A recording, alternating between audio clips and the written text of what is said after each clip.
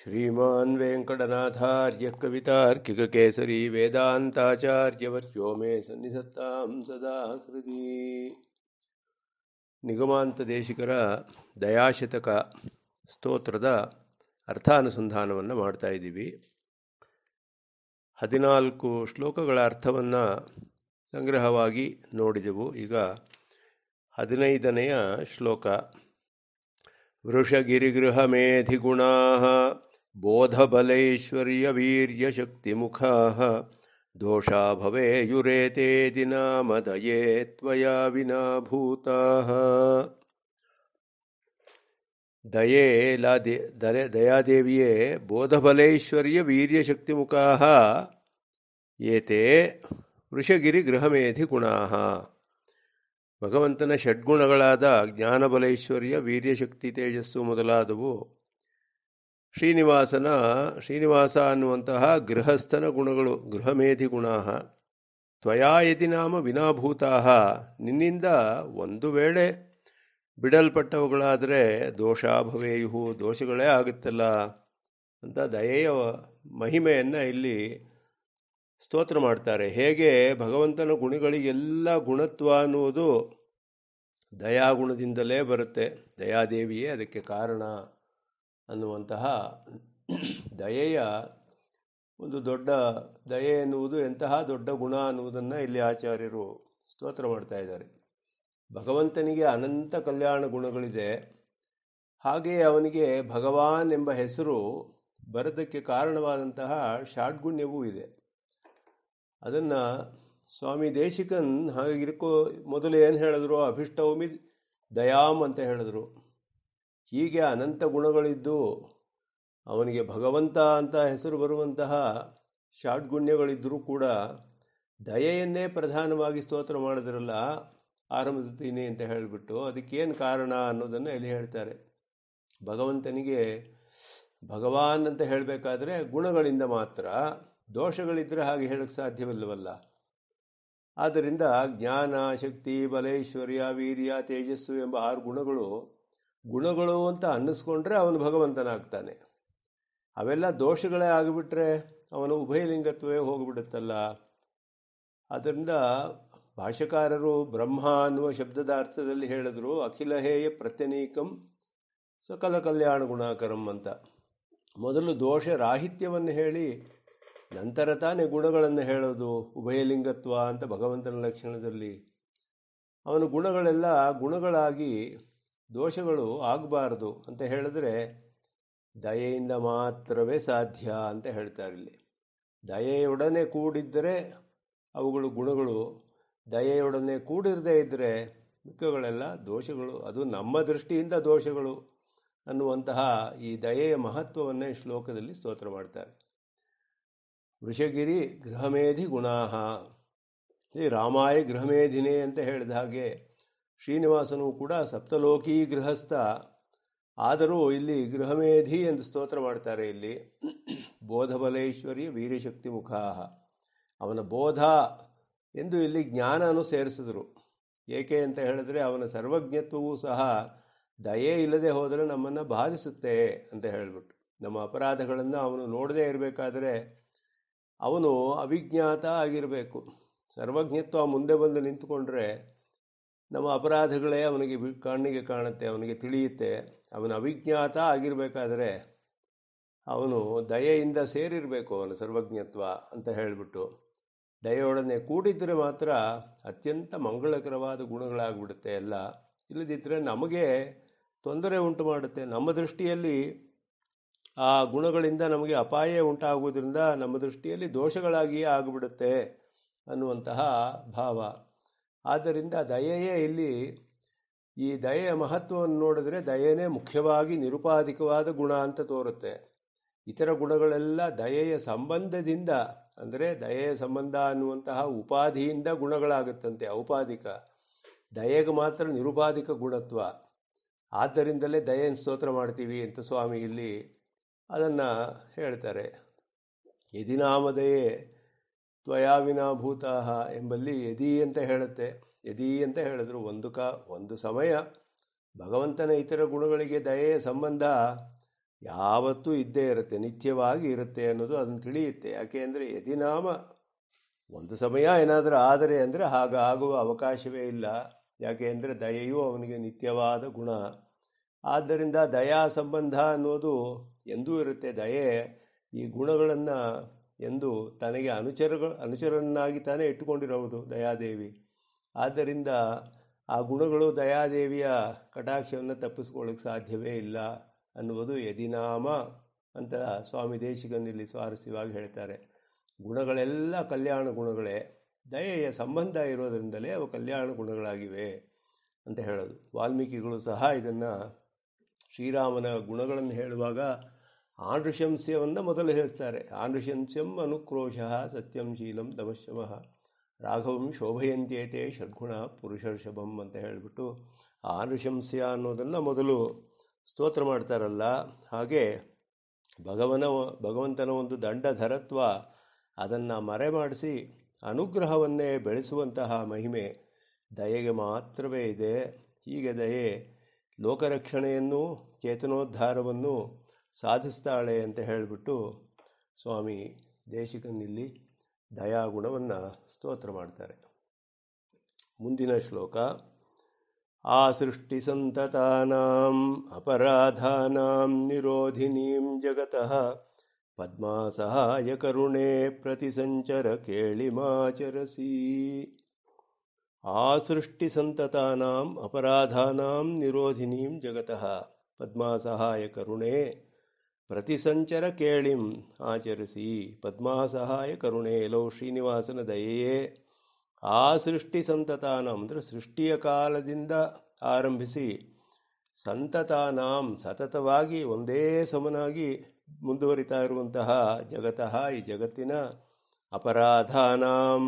ಏನು ಸತತವಾಗಿ ನಡೀತಾ ಇದೆ ಅಂದರೆ ಅಪರಾಧಗಳು, ಅಪರಾಧಗಳಿಗೆ ನಿರೋಧಿನೀಂ, ತಡೆಯನ್ನು ಉಂಟು ಮಾಡ್ತಾಳೆ ಹಂಗೆ ಮಾಡುವಂತಹ ಪ್ರತಿಸಂಚರ ಕೇಳಿ ಮಹಾಪ್ರಳಯದ ಲೀಲೆಯನ್ನು ಆಚರಿಸಿ, ನೀನು ಆಡ್ತೀಯೇ ಭಗವಂತ ಸೃಷ್ಟಿ ಅವನ ಲೀಲೆ, ಕೇವಲ ಲೀಲೆಯೇ ಅವನ ಅವನ ಲೀಲೆಯಿಂದಲೇ ಅವನು ಸೃಷ್ಟಿ ಮಾಡ್ತಾನೆ. ಲೀಲೆಗೆ, ಅವನ ಸೃಷ್ಟಿಗೆ ಏನು ಕಾರಣ ಅಂದರೆ ಅವನು ಕೇವಲ ಲೀಲೆ ಅಂತ ಹೇಳಿದ್ರು ಶಾಸ್ತ್ರದಲ್ಲಿ. ಲೀಲಾ ಅಂದರೆ ದಯಾಕಾರ್ಯ ಅಂತಲೇ ಆಚಾರ್ಯರು ಹೇಳ್ತಾರೆ. ಹಾಗೆ ಅವನು ಸೃಷ್ಟಿಯನ್ನು ಮಾಡಿದ್ರೆ ಲೀಲೆಯಿಂದ ಅದಕ್ಕೆ ನಾ ಈ ಜಗತ್ತಿನಲ್ಲಿ ಸೃಷ್ಟಿ ಏನೋ ಮಾಡಿದ ಭಗವಂತ, ಆದರೆ ಅಪರಾಧಗಳ ಪರಂಪರೆಯೇ ನಡೀತಾ ಇದೆ.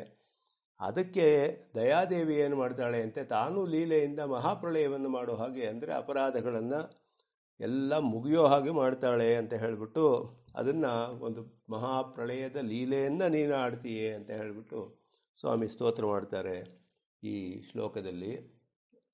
ಋಷಗಿರೀಶನನ್ನು ತನ್ನ ಅಧೀನದಲ್ಲಿ ಇಟ್ಕೊಂಡಿರೋವಳು ದಯಾದೇವಿ ಅಂತ ಹೇಳಿದರು. ಅವನ ಗುಣಗಳಾದ ಶಕ್ತಿ ಮೊದಲಾದವು ಅವಳಿಗೆ ಅನುಚರರು ಅಂತಾನು ಹೇಳಿದರು. ಹಾಗಾದರೆ ದಯಾ ಸಾಮ್ರಾಜ್ಯ ನಿರಂಕುಶವಾಗಿರಬೇಕಲ್ವೇ? ಯಾರು ತಡೆಯವರು ಇಲ್ಲದೇ ಇರೋ ಹಾಗಿರಬೇಕು. ಹಾಗಾದರೆ ಅತ್ಯಂತ ಭಯಂಕರವಾದ ಕ್ರೋಧದಿಂದ ಜಗತ್ತಿನ ಸಂಹಾರ ಅನ್ನೋದು ಯಾಕಾಗುತ್ತೆ ಅನ್ನುವ ಪ್ರಶ್ನೆ ಬರುತ್ತೆ. ಯಾಕೆಂದರೆ ಸಂಹಾರ ಅನ್ನೋದು ಒಂದು ಭಯಂಕರವಾದ ಒಂದು ಕೃತ್ಯ ಅದು. ಆ ಭಗವಂತನಿಗಿಂತ ದಯೆಯೇ ದೊಡ್ಡವಳಾದರೆ ದಯೆಗೂ ಜಗತ್ತಿನ ಜನ್ಮಸ್ಥಿತಿ ಲಯ ಇವುಗಳನ್ನೆಲ್ಲ ಮಾಡಬೇಕು ಅಂತ ಹೇಳಬೇಕಲ್ವೇ?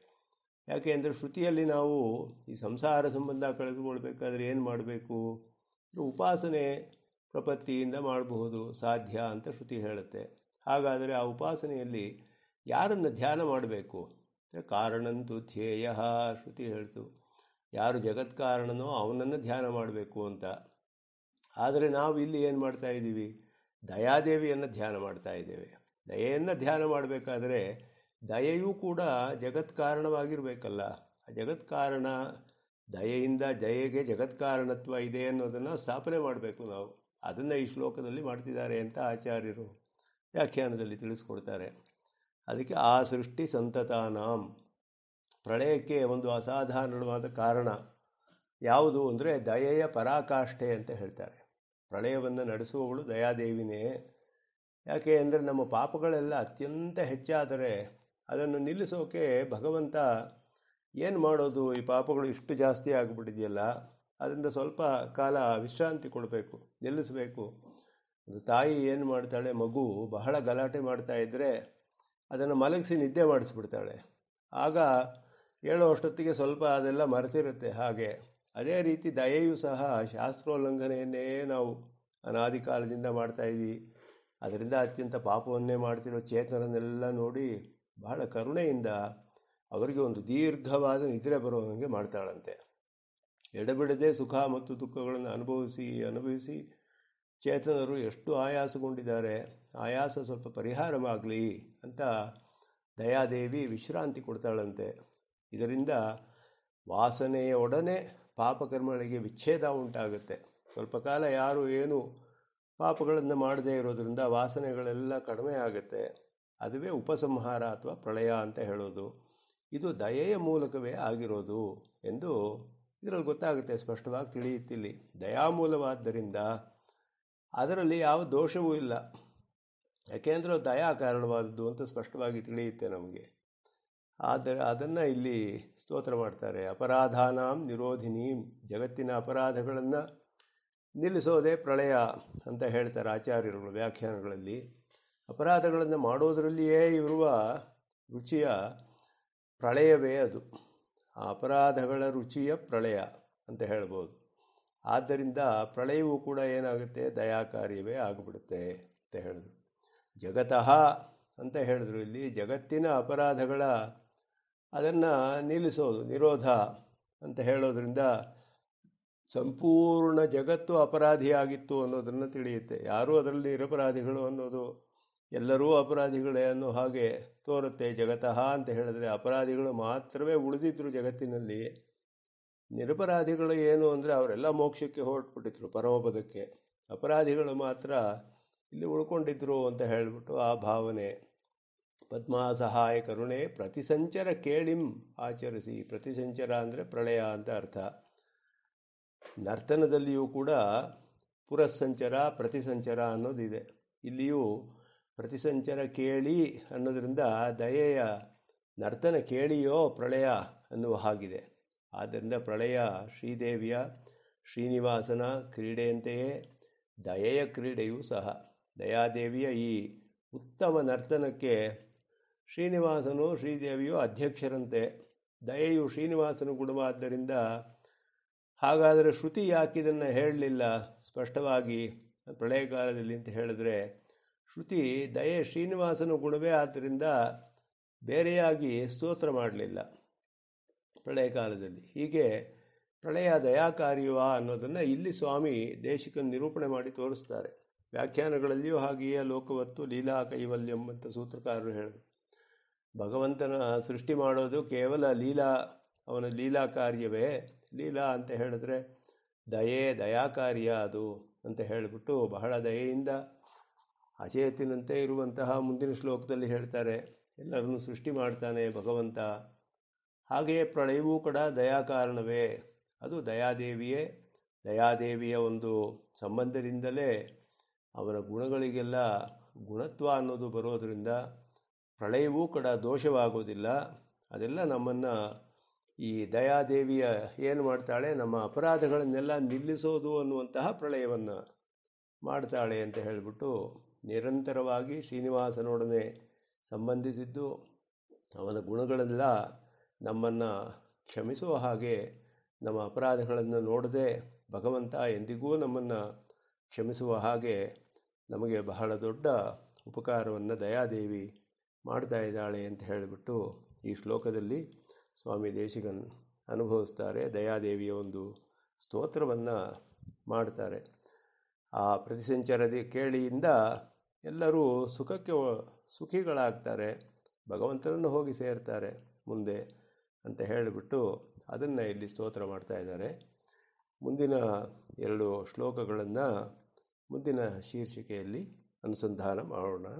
कवितार्किकसिंहाय कल्याणगुणशालिने श्रीमते वेङ्कटेशाय वेदान्तगुरवे नमः श्रीमते निगमान्तमहादेशिकाय नमः।